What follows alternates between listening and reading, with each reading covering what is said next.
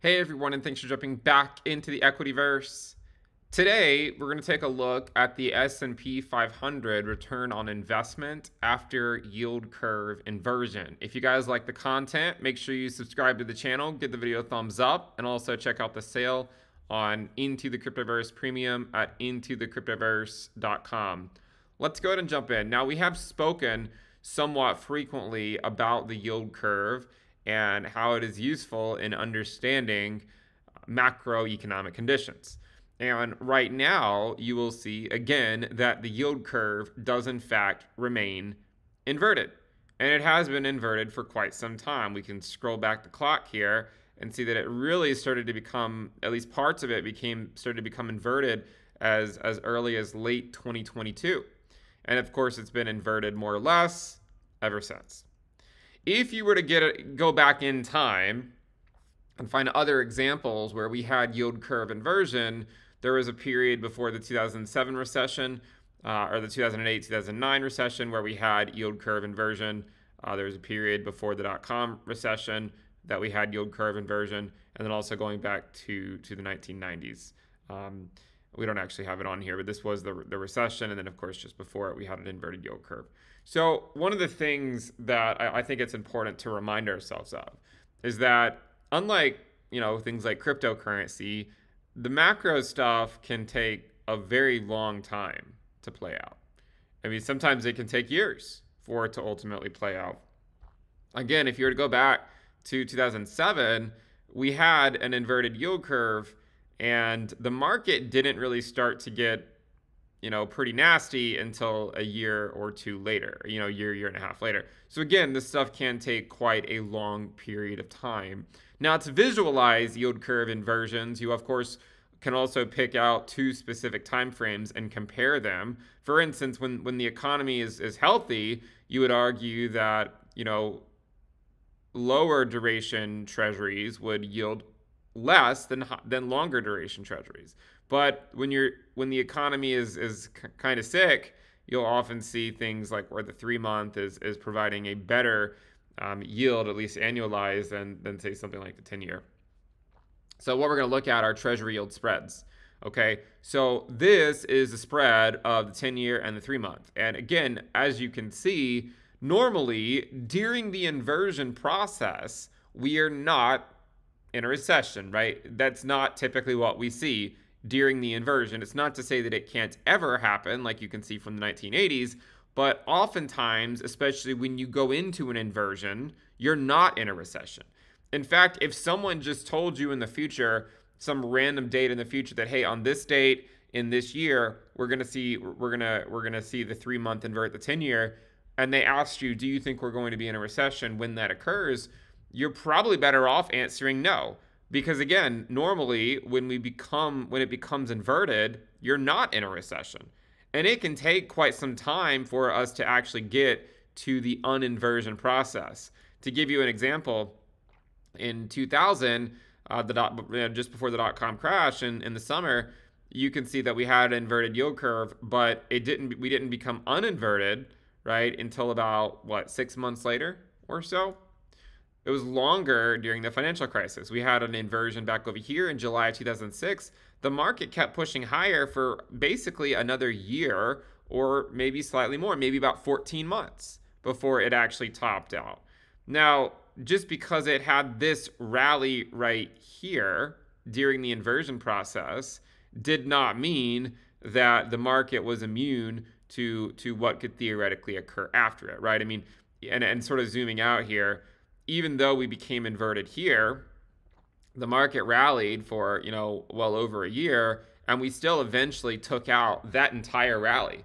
It just took a long time to do so, right? It took a long time to do so. And remember that the markets will make fools of both sides, right? In 2022, we made fun, uh, the market sort of um, made a joke of, of the bulls. In 2023, so far, it's more or less made a joke of the bears. And and this is what the market does, right? It's what the market does. But you can see that even in this yield curve inversion, even though we still slightly went higher, eventually the market did did roll over. And I think the bigger question is, is well, how long could this actually take? I mean, you know, the process of the inversion of the three month and 10 year Um, we, we've seen it. We, we've seen it last a few months. Over here, by the way, if you're curious, from inversion to uninversion, it was almost it was about a year, at least once it was sustained, about a year. And for this cycle, we didn't get our inversion of the three month and the 10 year uh, really until October of 2022. So, you know, we're only a few months away, right? July, August, September, October, just four months from now, it will have been an entire year since we saw the three month and the 10 the and the 10 year experience that inversion. That's nothing out of the ordinary.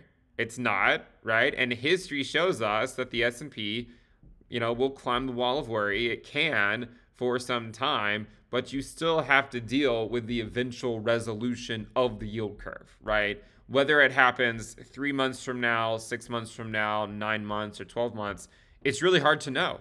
It, really is. And, you know, you're not going to find a more concrete answer from me, right? It's hard to know exactly when the uninversion process will take place.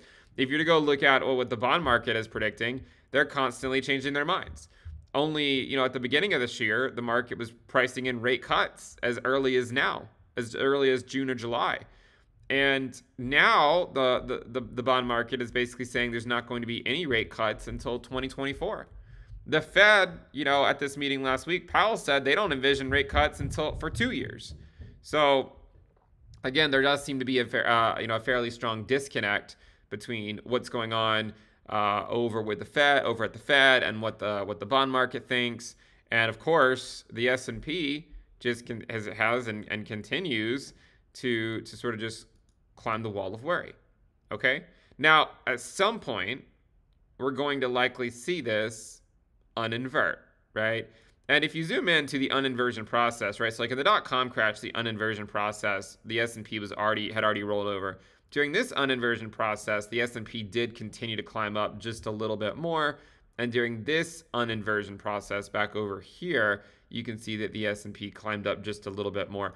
But in all three cases, we did eventually go into a recession on the other side of it. Okay? And you can look at the spread on the 10 year and the 2 year as well, and and that might be, you know, informative too. You know, we've we've been this one's been inverted even longer, right? Going all the way back to July of 2022. So the 2 year and the 10 year have been inverted for almost a year already, and they had a brief inversion as early as April of 2022, but it wasn't sustained until July. Is this out of the ordinary? Not really, right? I mean, over here, we had an inversion. We briefly popped back above it, but from this first inversion, you know, like in late 2005, we didn't come out of this until early 2007. So again, some sometimes this, you know, the the inversion process, the inversion, the, the amount of time that we see the yield curve inverted can last over a year, right? Sometimes even longer, a year and a half, or sometimes even longer than that.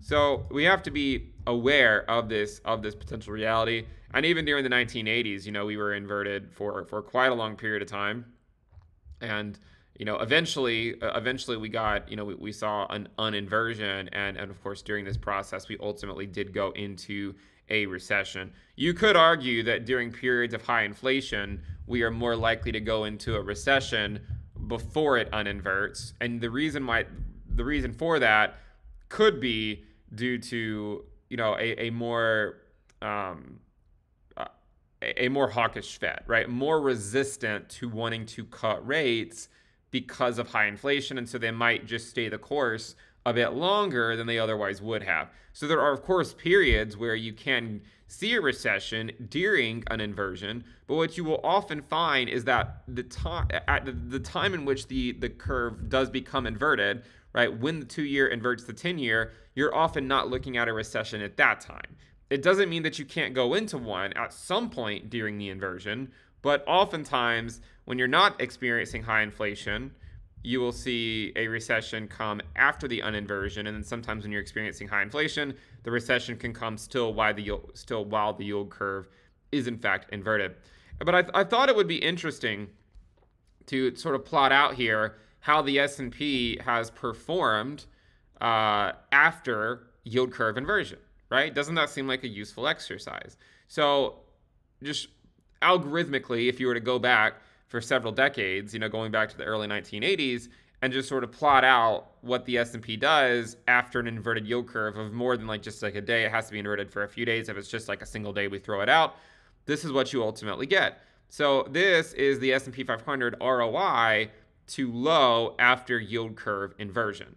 And if we ignore the current one, this is what it normally looks like, right? So normally you, you, you can get a rally after it, but eventually we do see it typically roll over. Uh, this was the dot com crash over here. This was the financial crisis. This was 1989. You can see the 1989 um, rallied on up uh, to a pretty nice level, uh, you know, over 1x um, or over over basically where it become became inverted, right? So like it didn't just go down the minute that the yield curve inverted. It actually went up for uh, a while and, and stayed as stayed above one for as long as you know about two thirds of a year or so before it ultimately came back down.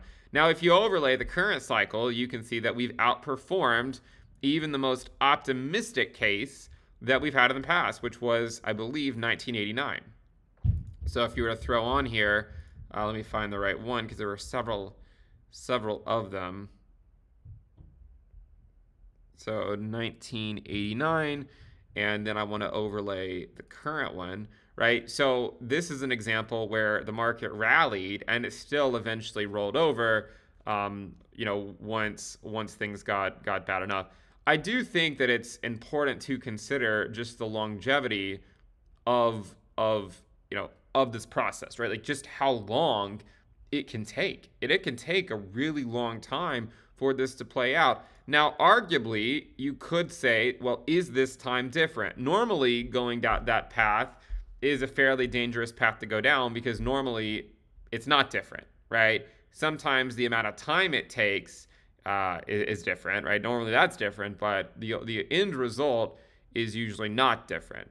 And so I guess the question is, is well, how long can can this go on until it, it finally rolls over? And history shows us that um, at this point, you know, we've outperformed, at least going back to the early 1980s, we've outperformed all of those. Now, there are some unprecedented events this business cycle, for instance, the Fed printing $6 trillion.